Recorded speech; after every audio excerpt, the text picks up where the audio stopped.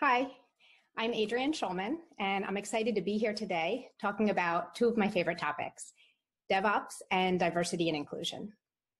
But before we begin, I have a confession to make. So I'm here at a DevOps conference, but for the longest time, I didn't even know what DevOps was.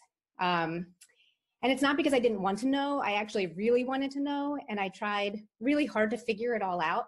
And it just took me a really, really long time. Um, okay, so now that I got that out, we can start with some more formal introductions. But the reason I wanted to tell you that um, I'm gonna, it's gonna come out later in the talk. So just file that away um, for now.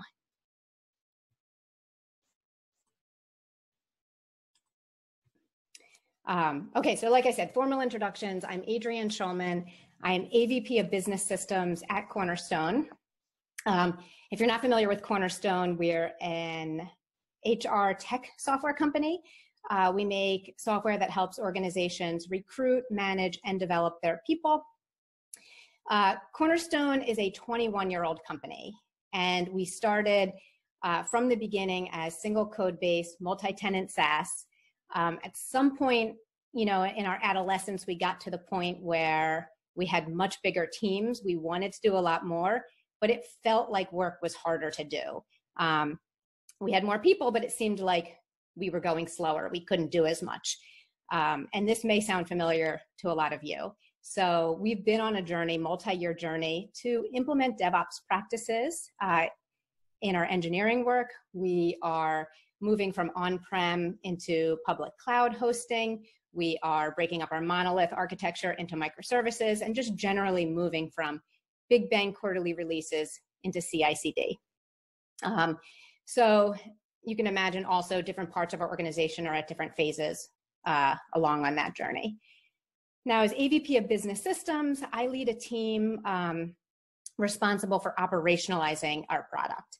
Um, that's a fancy way of saying what you might know of as tooling. So think things like process automation, business intelligence, data privacy controls, support tooling, fun stuff like that.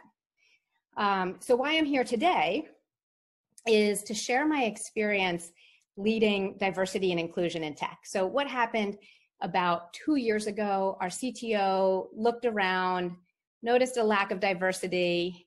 He knew me as someone who was really passionate at the time about expanding opportunities for women in tech. I'd been a long time volunteer for Girls Who Code.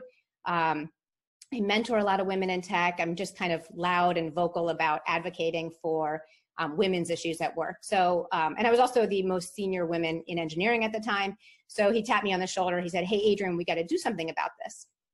Um, so we did.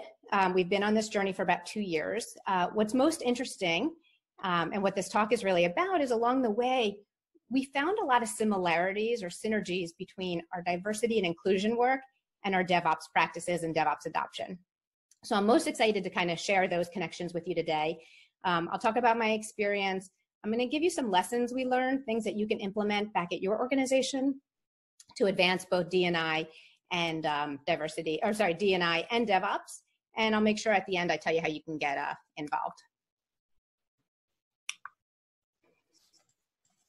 Now, if we were at a conference in person together, I would give you all a piece of paper to take notes on. Um, but next best thing, if you have a notebook and you want to scribble some notes, feel free or screenshot this.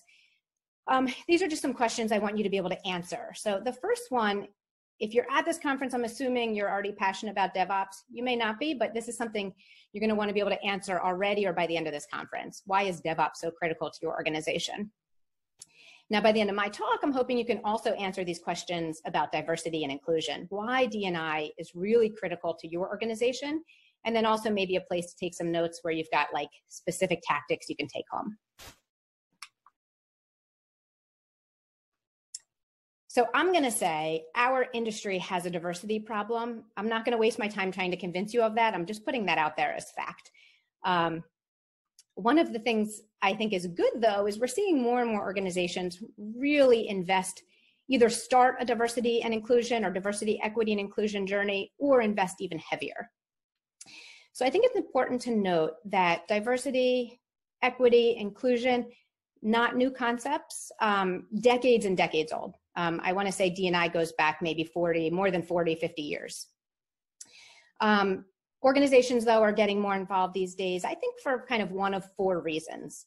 Uh, the first one being social pressure. So these are the CEOs or CTOs that are embarrassed about their lack of diversity. Everybody else is doing it. They may be getting pressure from their board to do something and they don't really know why, but they're going to do it anyway. Um, the next is justice.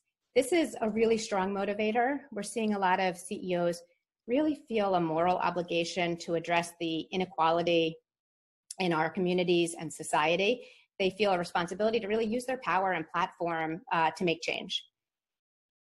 Third one, which is interesting, is that even if you're not that motivated, the talent market today is really demanding it. Um, and what I mean by that, and this is especially true for millennials and Gen Z, are people only want to work for companies that are really committed to diversity and inclusion. Um, there's a lot of research that shows this. We've actually seen this in our company as well. Um, we have examples of people who have taken jobs at Cornerstone because of our commitment to D&I. They said, hey, I have other offers, but I'm choosing to work here. Um, by the way, this is the first connection, I think, between D&I and DevOps.